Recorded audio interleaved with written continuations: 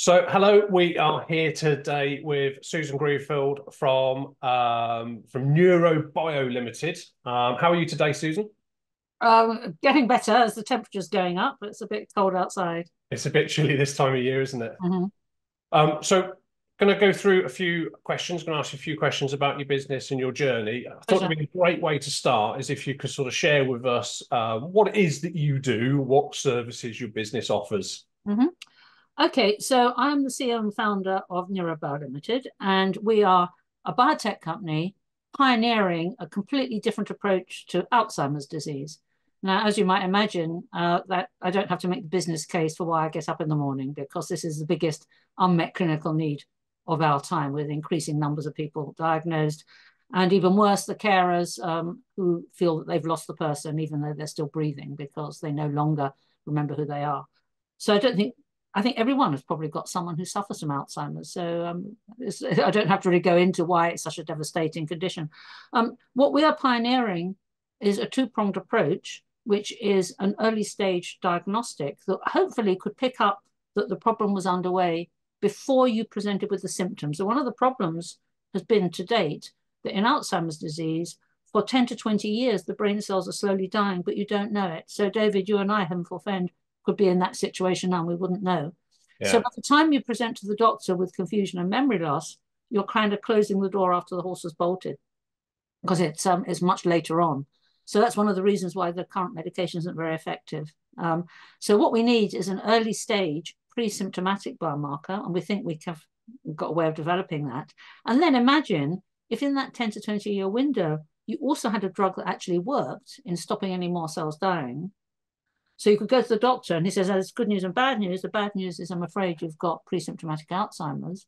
But the good news is we now have a drug that stops any more cells dying. So take that drug now before you get the symptoms, and then you'll never get the symptoms. So our dream is this two-pronged approach of a pre-symptomatic screen and diagnostic accompanied by eventually a drug that actually works, unlike other drugs on the market at the moment. This one would actually stop any more cells dying, which means if you took it routinely for the rest of your life, but people take medication for the rest of their lives, then that would mean you would never get the terrible signs of, of uh, confusion and memory loss that has, has devastated so many people's lives. So that's what we do. Um, and that's all because it's founded on a very novel idea of how Alzheimer's actually happens. No one else has actually come up with a description of how and why Alzheimer's does what it does in the brain, but we think we have. Um, and we have now um, 20 patent families covering 14 different assets over this, been going for 10 years. Um, we're still very much at the research stage, but we're starting to realize a small amount of revenue now on a collaboration with a, a multinational, I won't name, um, on a sort of um, non-core asset, which is a result of uh, our basic discoveries. Wow, you're right, and that's an amazing purpose for a business, and mm. it's, a, you know, it's a very compelling reason, like you say, mm. to get up every morning because yeah. you know Alzheimer's and dementia and things is touching so many mm-hmm. people's mm-hmm. lives at the absolutely. moment. Really, yeah. really well. Yeah, absolutely. So, and you're looking at developing something that's sort of like so rather than treating the cause with a medication, it's looking at getting it early to be able to sort of. I mean, it's, it's both. It's at the moment um, the the great fashion are for drugs that combat something called amyloid Right. These are antibodies to this. Now, amyloid um, is in the brain of Alzheimer's. You can see it post mortem, but it's much later on. So it's a later stage marker.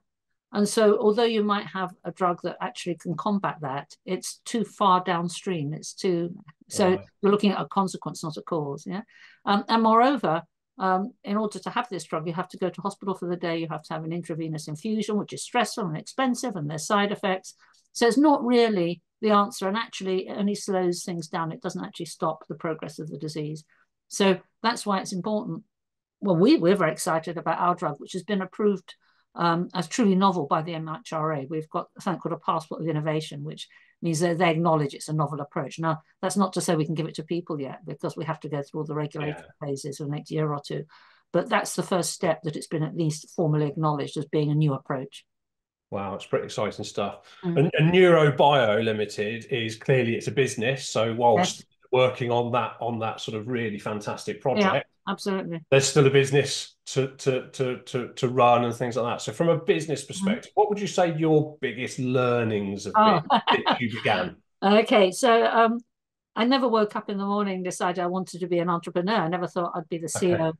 and founder of a biotech because I started life and thought I would continue life as an academic. So what happened was um, at school I hated science and I did Latin and Greek and ancient history and maths as my A levels. And then I went up to Oxford University a thousand years ago um, to do philosophy. Yeah. Um, changed to psychology and got rather disillusioned with both those things. So changed again to physiology. And then um, my tutor thought it'd be a laugh if I was a scientist. So she dispatched me to the professor of pharmacology uh, to do a doctorate. And he said, the equivalent of, um, have you heard of Shakespeare? He said, uh, do you know what a millimolar solution is? And I said, frankly, no. And he said, never mind, you can tell us about Homer in the coffee breaks. And so it was, I, I have to flag that story because I think it flags that you shouldn't just tick boxes. You should look at how enthusiastic and motivated people are um, and how curious they are. And I, I'm very grateful that I did classics as it is, Latin and Greek initially, because it meant that you challenged dogma, you asked big questions um, in a way that perhaps you wouldn't had you had a very conventional, I'd had a great conventional scientific training. So I did my um, DPhil, my doctorate at Oxford as well. I did my first degree there. So I've done all my degrees there. Um, and then I did periods abroad, which you do, which is part of the, the normal career path if you're a research scientist. So I worked in Paris for a year. And mm. also I did a, a, a spell at NYU Medical Center in New York. And then I came back and got a tenured job in Oxford. Um, so then got a very comfortable life attached to a college as a fellow where you eat on high table and you know you have the Latin grace every evening. And uh, you, you have the time to stare out through the windows and you have tutorials with very bright students, one-on-one tutorials.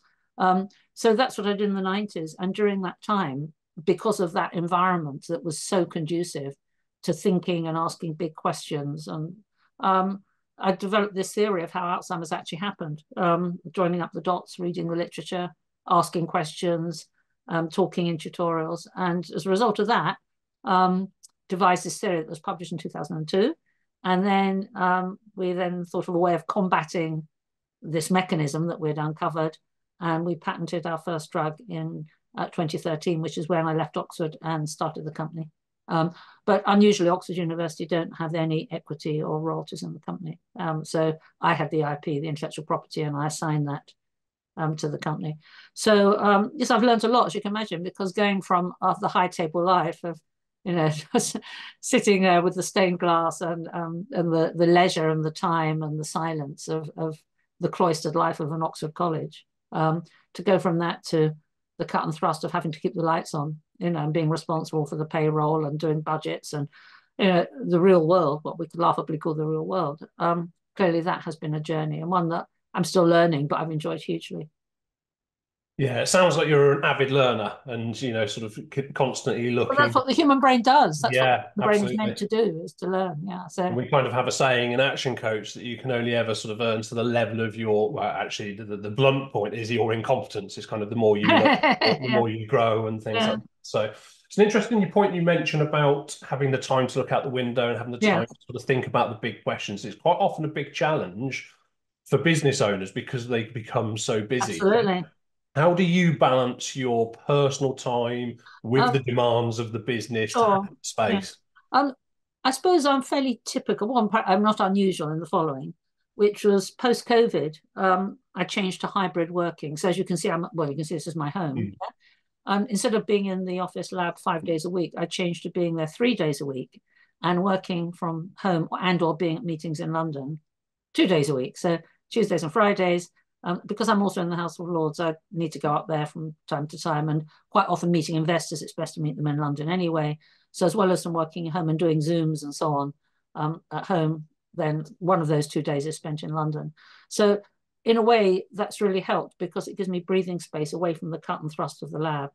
So I'm there three days a week. So I know enough to know the mood music and how people are and to have the water cooler moments and all the rest of it. But by the same token, um, I have time away to step back um, and you know just reflect on things. Um, time off, work-life balance is something a phrase I really don't like because as someone once said, "Do what you love, and you'll never have to work again." Yeah. And in a sense, I don't feel I'm working. So you know, the idea of taking time off, not working, taking a break, I find rather rather sad. Actually, if you have to take a break from something, then obviously it, there's something not quite right. Yeah. So for me, um, it, I just carry on doing things continuously, you know, and it's yeah. just part of life. You know, uh, the same as playing squash, the same as going for a run, the same as going for a drink, the same as shopping. It's all part of what you do. You know, I don't personally, I, I know that's a huge privilege, and many people watching this probably um, might say, well, it's all right for her. You know, I've got to get up in the morning and I do. But you know, I know that is a privilege. In my dream world, if I ruled the world, it would be to create an environment or a society where everyone felt that they loved what they were doing, and they'd found their niche in whatever it was. You know. Yeah, I think I think you know, you, you, you're right. I mean, being that entrepreneur, being a business owner, you, you can't switch off the same way. No, it's just there. yeah, it's kind of always. you don't do your emails for a day; they're there. They don't go away. It's, well, it's part of who you are as well, isn't it? It's become becomes part of who you become. So having that ability to keep enjoying it and keep because some business owners, let's face it, are in a position where they don't enjoy what they're doing anymore, but can't get away from it. Oh, that's that's. Uh, um, the other rule I have is only do what you can't delegate. So yes. Have a great assistant and great staff, and if you can delegate something, then do so, you know? And yeah. also when you do delegate, you have to let people have their space and do it in their own way at their own time. I've learned that within limits, yeah. So you don't breathe down their neck. So what you do is you delegate things that other people can do. So you yeah. let them do it and then let them do it in their own pace, in their own way. So it sounds like you've sort of really you've got a real purpose to how you spend your time to create an environment that allows gives you the sort of tools and the environment to allow you to do what you want to do. But you you're also considered in terms of how you're spending your time, where yeah. you're spending it, and things like that. It's really yeah, yeah. I'm not a great one for small talk.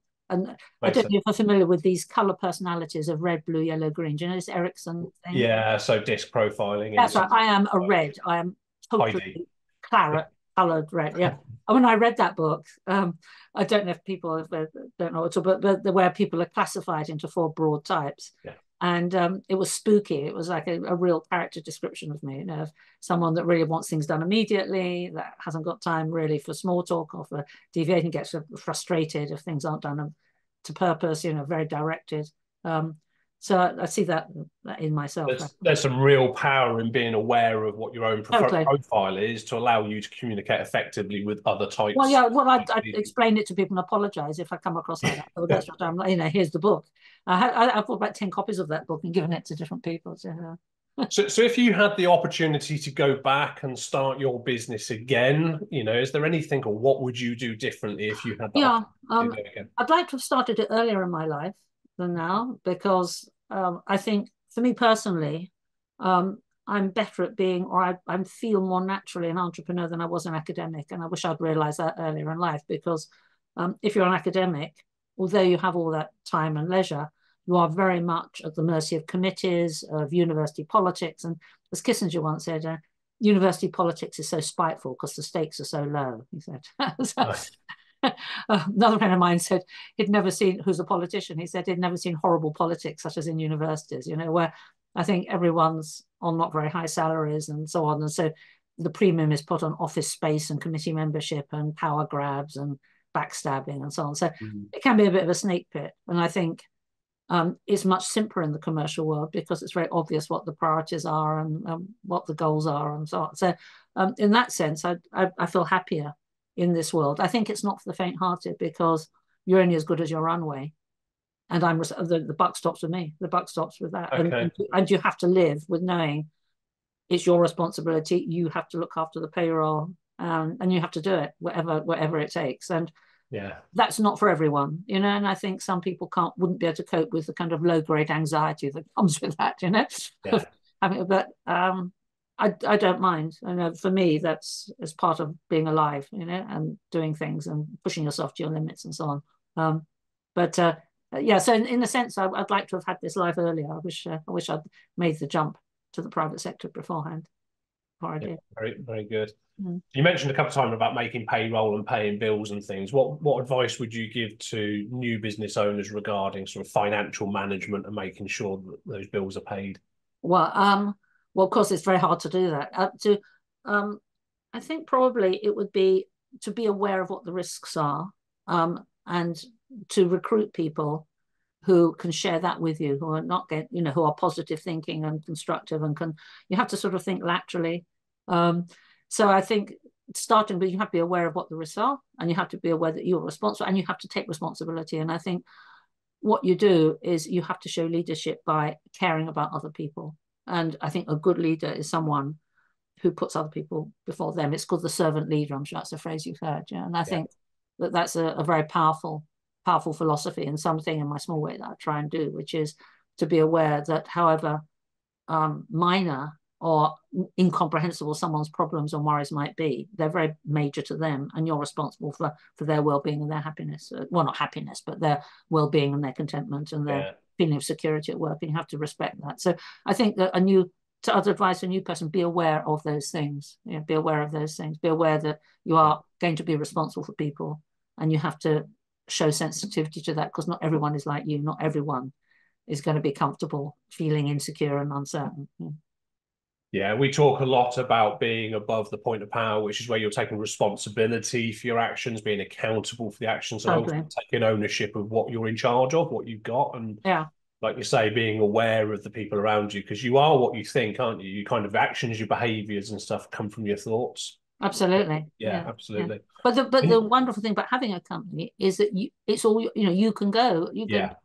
Whilst yes, of course, you're accountable you also can take the credit. You can also be in control. And being in control and being able to make decisions is a very, very intoxicating experience. yeah, there's nothing nothing wrong with taking the taking the you know the, no, no. there and, as know, in take back control, taking control compared success. to um, I say the public sector where you're very much part of machinery and and yeah um, large infrastructures and administrative staff and people telling you what you can and can't do, having to get signatures for this and that, having to wait for certain periods of time for people who are red, like I am, the red people, that, that is um, a very frustrating scenario. So this is, yeah. So I think I'd also say to someone, know yourself, you know, know what kind of things you, you are capable of, know your own insecurities, know if this is going to fret you. Because a lot of people, I have several friends who would hate to be running businesses. They, you know, they like the comfort of the PAYE system and having their, the, and that's fine, but you just, you have to recognize and know what you are.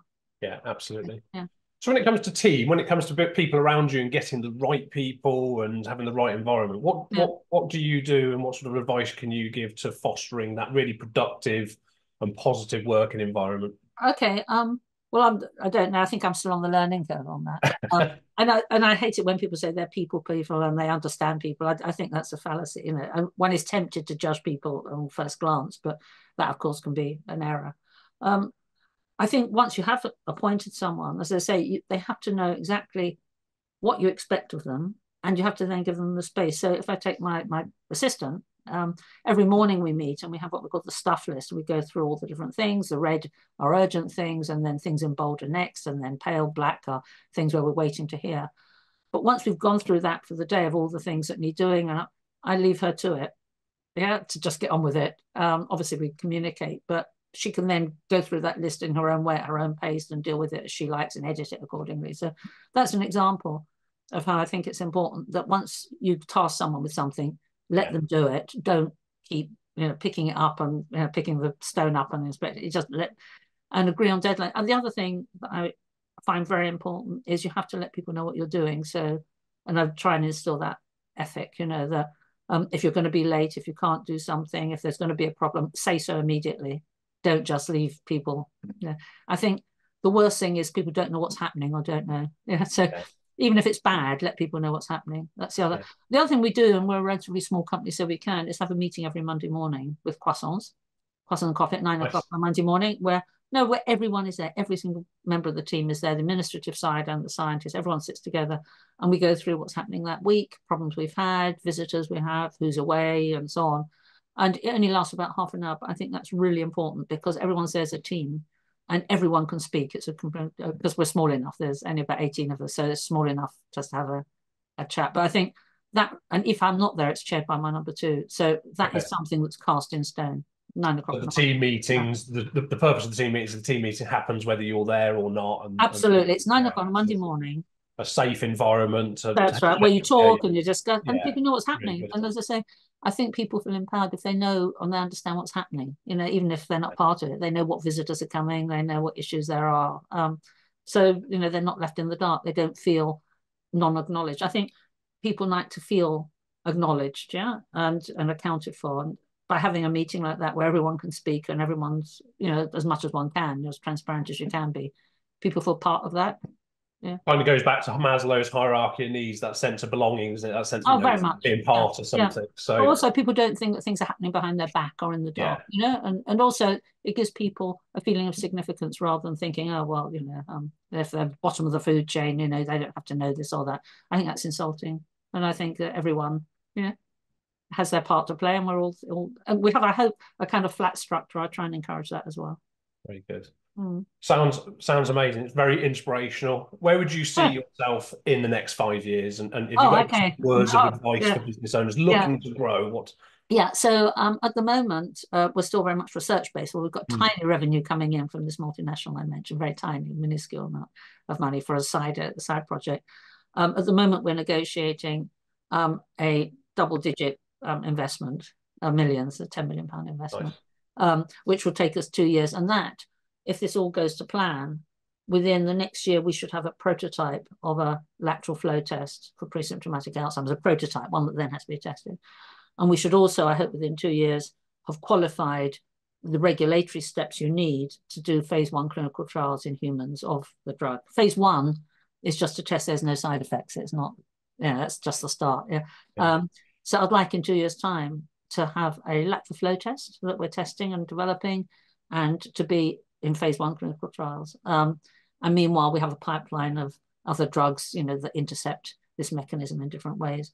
Um, and I'd like to therefore um, be with 20 million and, um, you know, obviously with an expanded staff um, and on our way as pioneering a new approach to Alzheimer's. Very nice. Well, I've got no doubt that you'll you'll get there and you'll do what you need to do to to do that. Yeah. So there's probably one last question which mm-hmm. I like to ask, which is probably the question that I've probably missed. So is there anything that I haven't asked you that I should have asked you? Um, you've actually what what you've skirted around as the elephant in the room is um the issue of being a woman entrepreneur and a woman CEO in biotech. And do I have issues with that? Perhaps you've done that out yeah. of complete. but I'm having uh, because I think there is an issue, you know, and I think certainly in biotech, which is a very male-dominated sector. Um, that one I'd rather have that out in the open and just see if people are you know, there are issues for them if they if there are prejudices or if they see me in a different way to how they would see a man yeah um yeah. and I think the more women entrepreneurs we can have half of neurobio female which is great and okay. incidentally um about two-thirds of us well of them only have English as a second language so we're very we we pride ourselves on our diversity and also and I think those things are very important actually for making a very stimulating environment. And I think the ideal is roughly half men, half women. That is the perfect yeah makeup. And often that's not the case. So I just wanted to flag that that people should be mindful and having diversity as well means people are coming from different cultures, they have different mindsets, and having different languages means they think in different ways. So yeah. it makes for a much more vibrant environment where people are curious and challenging in a way they wouldn't be if everyone spoke English and everyone was a white man, you know, uh, it would be a very different so, world. So, what words of advice or support would you give to those budding entrepreneurs, that you know, the, the, the, women entrepreneurs that want to step into that world but have got a bit of that imposter syndrome or a bit of fear oh, around? Totally, yeah. Uh, well, I'm afraid you just have to be as good as you can be and, and just try and ignore the fact you're a woman. Just press on. and You, know? you just have to do it. You know, there's no point in seeking being a victim or moaning about it. You just deal with it. You know, and frankly the other thing I would advise is if you do feel a man is patronizing you or bullying you, you face them down by telling them to their face in front of people. That's how you feel. And that, yeah. The other trick I've learned from my mum is you laugh at them, which is even worse. Right. That's the nuclear option. That's the nuclear option. So I wouldn't uh, use it sparingly. yeah, I, I wouldn't do that. But um, or yeah, just know if there are women watching, know that we are a growing number and um, thankfully, we live at a time compared to when I was a student, when um, the kind of behavior that has fueled the Me Too movement is no longer tolerated, thankfully. But still, you have to you have to combat this sort of natural bias that people have sometimes. Yeah, absolutely, absolutely. Thank you very much for that. Pleasure. Um, very inspirational. So, where where would our listeners go if they wanted to reach out, support you in some? Oh, I'd love to talk to them. Yeah, so we have a website, yeah. Neuro, N-E-U-R-O hyphen B-I-O dot com. So www.neurobio.com. Um, and uh, that'll be, and that's all the all the phone numbers and, uh, and our backgrounds to our work, and I'd be delighted to uh, to hear from them. Brilliant. Mm. Well, thank you very much. Thanks for your time. Well, thank you, David. All the best.